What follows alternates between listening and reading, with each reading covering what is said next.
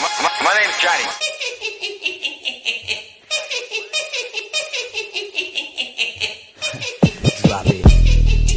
Hey, how's it going, Joker fam? It's your boy, Haha Joker, aka the Black Joker, back at it again. Another Madden video for you guys. So, if this is your first time watching one of my videos, please feel free, go down, watch some of the rest of them.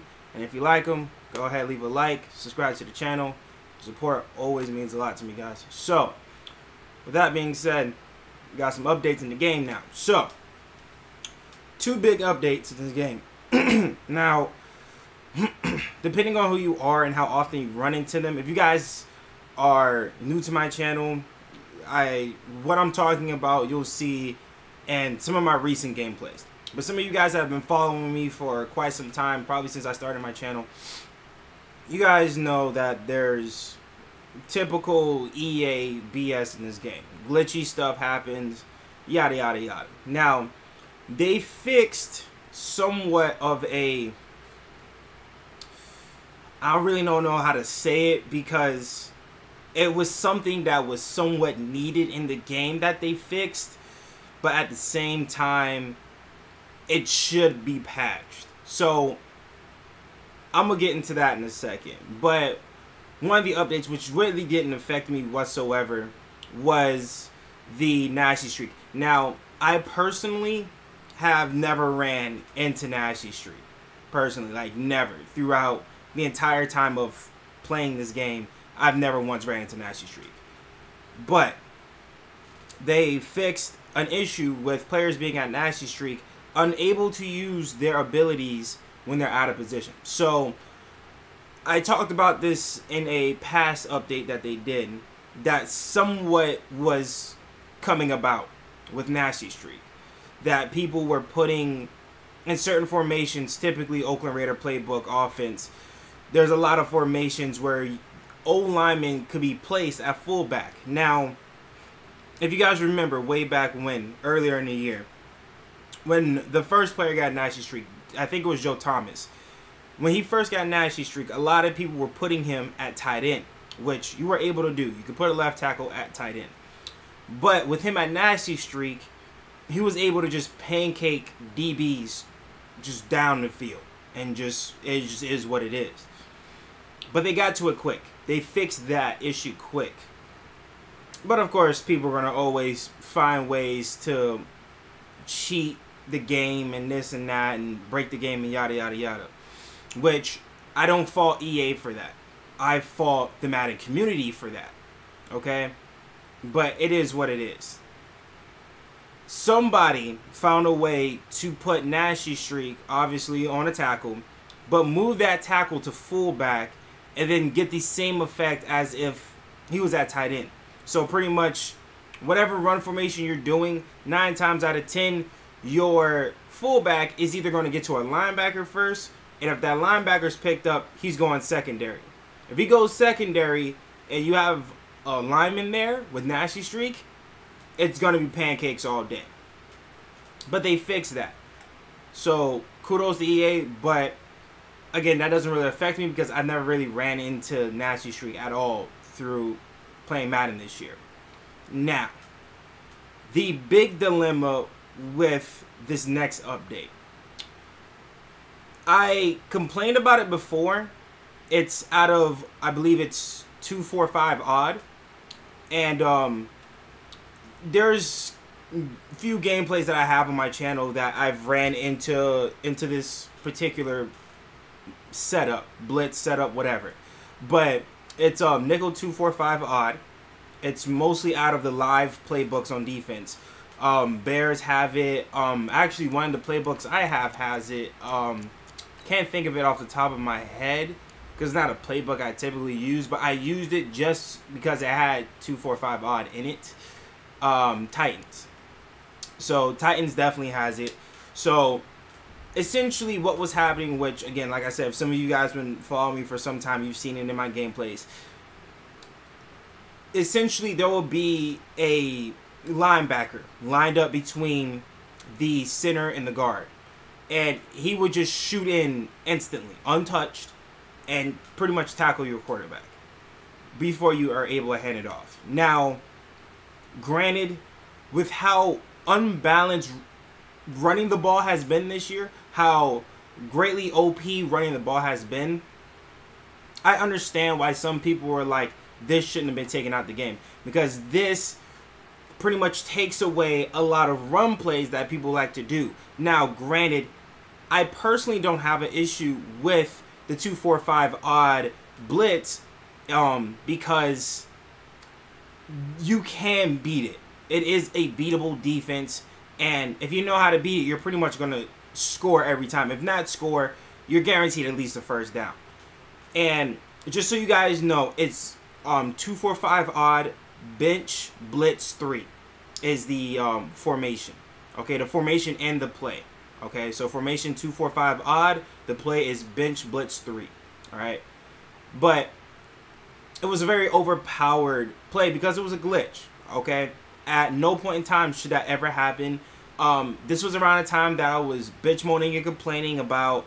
This is why we need to assign blocking assignments because this shouldn't be happening and this shouldn't be happening. There shouldn't be somebody coming in free. This, that, and the other.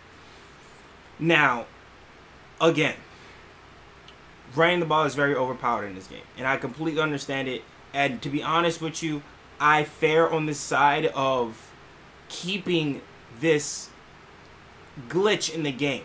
Why? Because EA has failed us as a community to balance run game and Madden this year. Okay? They tried their best and they just can't do it. They can't get it right.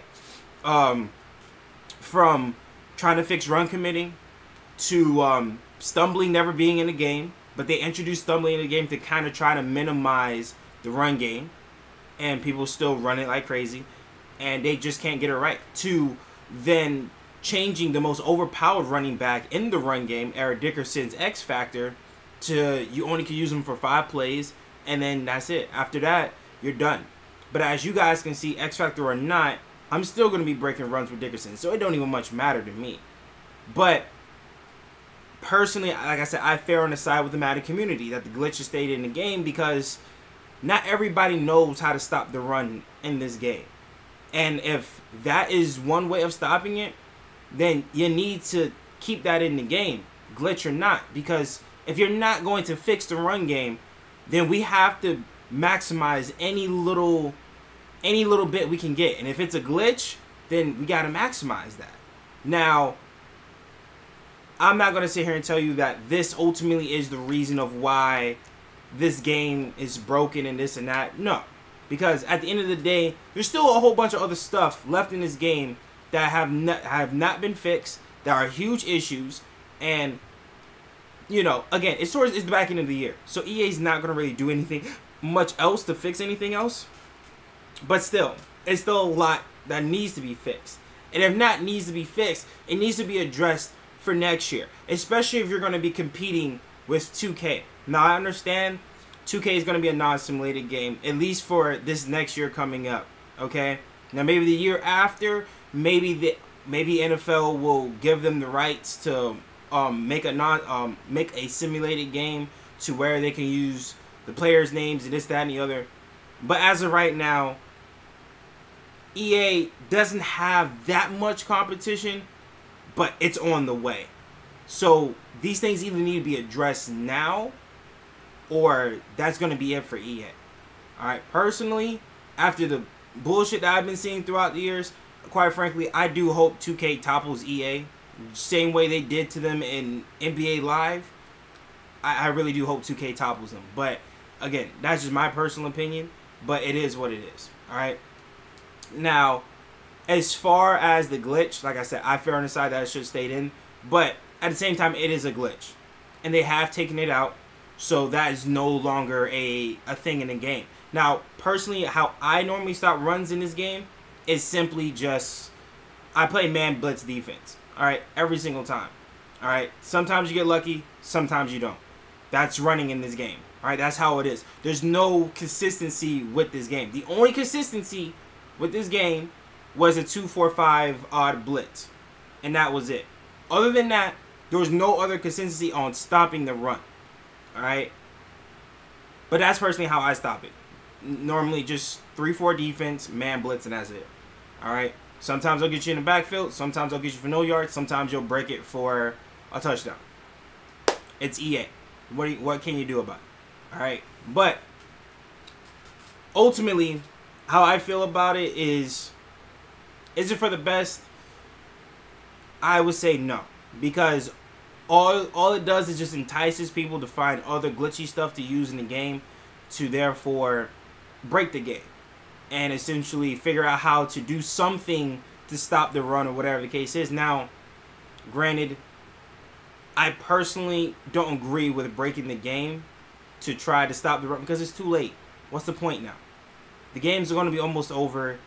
It's it's getting close to Madden 21. They're going to start releasing news on Madden 21 soon. So, what's the point, guys? But that's just my two cents. As far as other stuff in the game, this, the whole update in this, this is the least of EA's worries. The biggest complaints that I have about this game, number one, assigning blocking assignments.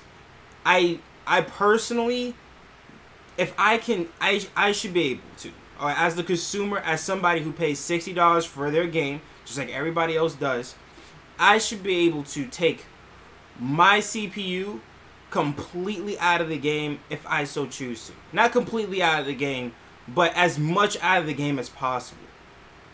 Some of the blocking that I see from Madden, it's absolutely terrible, guys. It's awful. It's I cannot believe it. Sometimes it's bad. It's really bad. And I get the run game's overpowered and stuff, but still, if you can balance the run game, assigning blocking assignments shouldn't be that difficult, especially if it's on one side of the ball. Okay? Now, not just that, but assigning blocking assignments in zone coverages. Zone coverages, and granted, zone coverages have been ass through the entirety of Madden being a thing. Like ever since EA put out Madden, zone coverages have just been god awful, man. I just terrible. And again, it really makes you wonder: Do the back of the do the numbers on the back of these cards really mean anything? Because I'll give you guys a perfect example of what I'm talking about. Right? So Dickerson, has, if I'm not mistaken, has 99 carrying, but I'm going to check. All right.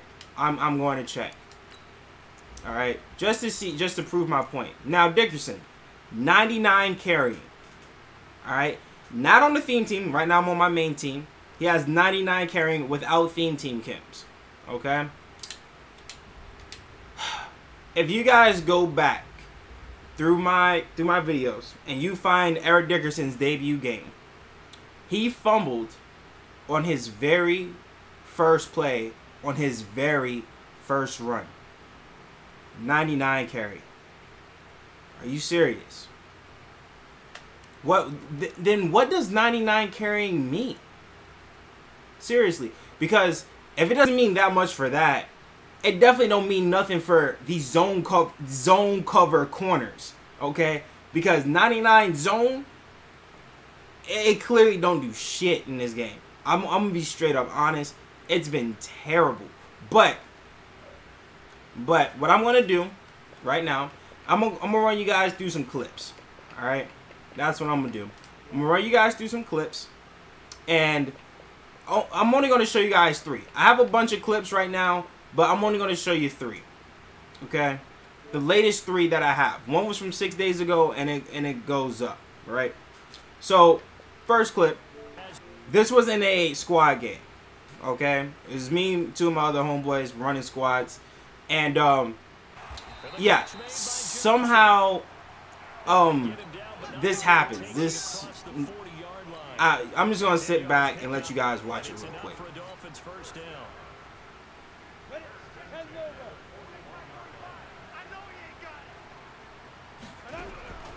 It's Young on first down. Eluding the pressure right. Got a man, it's Randy Moss. Really? Seriously? That's a thing. Really. So as you guys can see, Randy Moss caught the ball, rolled on the ground, slowly almost got back up, and got an animation because the animations are so great because the animations are supposed to make the game feel real, to be more realistic. I got an animation that as if I was getting hit in the air. As if I caught the ball in the air and I got hit in my legs. I got that animation after rolling on the ground. And then slowly getting up and then getting hit. And, and believe it or not, that was an incomplete pass. Clearly had possession everything. Now, granted, for me, thank God it was an incomplete pass. Technically speaking, it should have been a fumble. Technically speaking. But I'm not going to side with EA just because it was an incomplete pass that should have been a fumble. The game is trash. Okay? Just want to keep that completely clear. Now,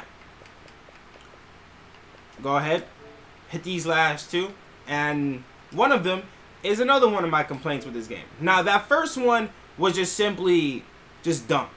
All right, that should never happen. This one has to do with zone coverage. Now, as you guys can see, I'm in nickel over G, typical formation, and this was in weekend league, by the way. And for some reason, Deion Sanders, my 99 zone cover corner, did this. Now, here's my problem with that, right? Ultimately, here's my problem with this. 99 zone cover, Deion Sanders, right?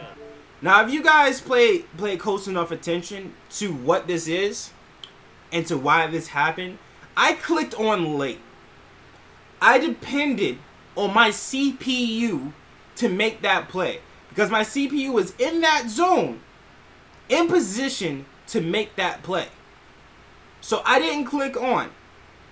I clicked on late after I saw him moving out of position to not make that play. So I'm going to run that back for you one more time to show you guys what I'm talking about. Alright, so here we go again. As you guys can see, watch Deion Sanders closely. He'll drop back into coverage. He's where he's supposed to be at. Crosser comes there, and then I click on, and then it's too late. Alright, this is the kind of stuff in this game that needs to be fixed. Alright, not glitches in the game that automatically sack your quarterback before you hand it off. This has been a problem since the game first came out. Okay? This has been a problem since, and it is not going to get fixed. I just want that to be 100% clear. Stuff like that is not going to get fixed in this game. Okay? I just wanted to have that could be completely clear to you guys. Alright? These little band-aid fixes that EA likes to do is going to be the reason why they fail as a company to keep in something as big as the NFL behind them. Because it's the same thing that happened with them in NBA. Okay? Their game was trash. They were unable to fix it and to keep up with 2K. And then they failed as a company. That's why NBA Live is trash, which is why 2K is so good. It's going to be the same thing now. Alright? Again, had no competition. EA could keep putting out the same garbage and same trash, and because we love the NFL so much, we love football so much, we put up with it. But now 2K is coming back, and now we don't have to put up with it, and I'm not going to. All right, especially when they're putting out stuff like this. Zone coverages have been a problem in this game for so many Maddens, so many, and they don't fix it. They refuse to fix it. But ultimately, it is what it is. Okay? There's not much complaining I can do about it because it's part of the game. It's what we are all accustomed to. We're accustomed to trash zones. We're accustomed to people breaking the game. That's what we're accustomed to. And it's very bad. It's very sad. But I'm going to show you guys one more clip.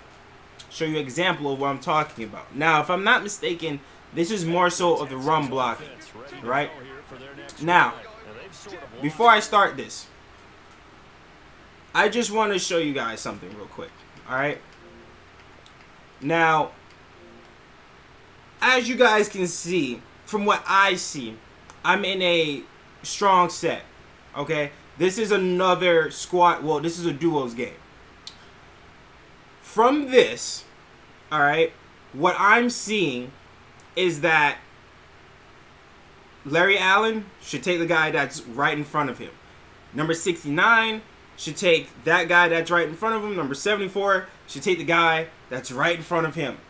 All right? Which would leave me to believe that the only thing I need to worry about, technically speaking, are the two linebackers right here up top, which I believe one of them is Mays and the other one is Patrick Willis. All right? Now, in a perfect world, I would like for Upshaw to take Willis, which will leave me one on one with Taylor Mays. In a perfect world. But in EA's world, that ain't gonna happen. I'm gonna go ahead and play what happens. Alright. So this is what happens.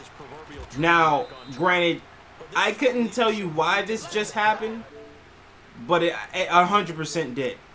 So I'm gonna go ahead and pause it at this. Whoa, we're gonna pause it at this point. All right, a little bit back, right here. Okay, now this right here, what you guys are seeing, is a huge clusterfuck of just not what this play design was supposed to be. Okay, for whatever reason, Upshaw is somehow in the middle of the field. I don't even know who the hell he's blocking. My number 69, which is Jordan Gross, for some reason is peeling backwards away from the stretch. Okay? He's going the opposite way instead of essentially just picking up Taylor Mays. So I don't know why that's happening. All right? So if I go ahead, and move a little bit more forward, this is what you get. All right. Now, I have Larry Allen peeling back, picking up number 54, and I have Jordan Gross, number 69, peeling completely back and picking up somebody else. Now, Taylor Mays is picked up in this. Okay? The lane is there to hit.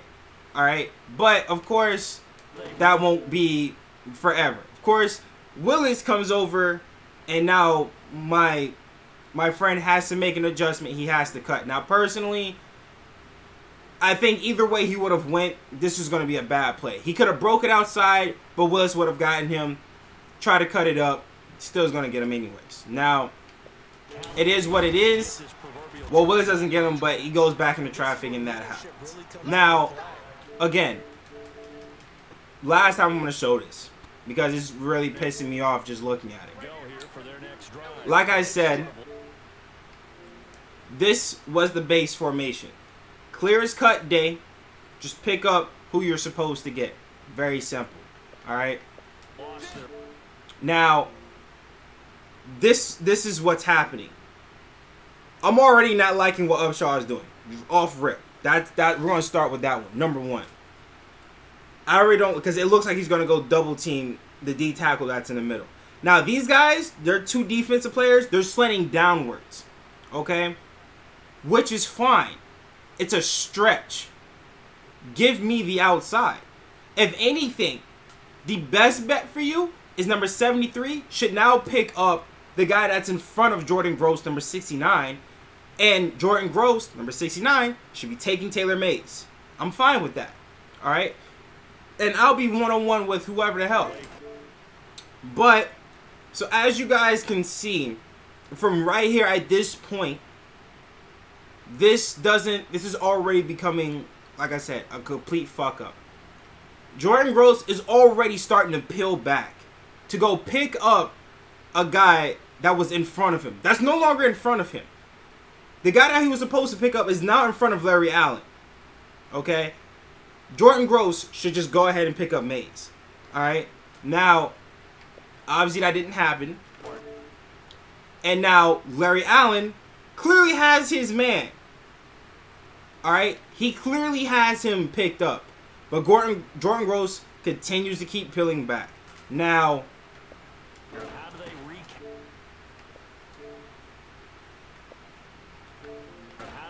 and now Jordan Gross is stuck picking up nobody. Okay, now again, if I had to slow that up for you guys just one more time, because people, for some reason, people in the comments section think I'm I'm like fucking around when I'm talking about this stuff, but it's real. It's it's seriously real. Now th everybody's this guy is kicked all the way out. Jordan Gross is literally on nobody. on nobody.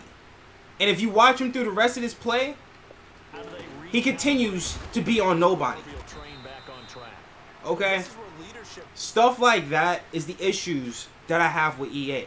I can I can care less about your your two four five odd blitzes, your DB buzz blitz, your this that and the other. I can care less. Your zones and your your CPU's inability to react to certain things that's in front of them. Keep in mind, this has a lot to do. I'm suppose I'm guessing here has needs to have something to do with the numbers, these magical numbers on the back of these cards, because I mean I keep saying Jordan Gross. I didn't mean Jordan Gross. I mean Jon Runyan. Jon Runyan is number 69, the player that was completely fucking up that play. This man has 95 awareness. Now, I don't know what awareness you need for that not to happen, but I I need I need a right tackle that's not going to let that whatever the awareness is because apparently 95 awareness ain't enough awareness. You ain't aware enough of what's going on around you that you don't realize that you're not picking up anybody that you should probably just go ahead go to the next level and just pick up Mays. Again, the blocking assignments in this game is trash. And zones, they, they've always been trash. But it just is what it is. We put up with it, and we accept it for what it is. But again, as it is, two new patches in the game. Are they going to do anything to help this game anymore? No. Running is still going to be overpowered. Uh, zones are still going to be trash uh, CPU is not going to run block consistently consistently every time, and it's just the way it is. All right. So again, other than that, there's nothing really new going on outside of sitting at 21k candy right now.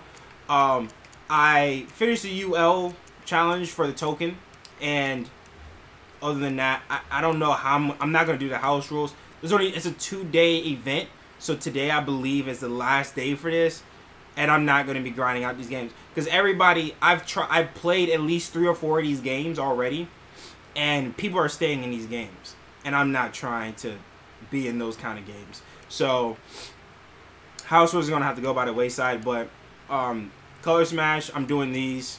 I'm gonna try to knock all these out, get some of the letters, and then we're gonna try to complete the big to grand egg as soon as possible, if I can remember the sets are. I think this only has at least four or three days left. So this is gonna probably be the next thing. Next thing I'm gonna try to do. Yeah, three days left. So this is gonna be the next thing I'm gonna try to do, and then I'll probably go ahead and knock out the rest of these as soon as I, you know, can buy the letters and stuff. Because that's probably what I'm gonna end up needing to do.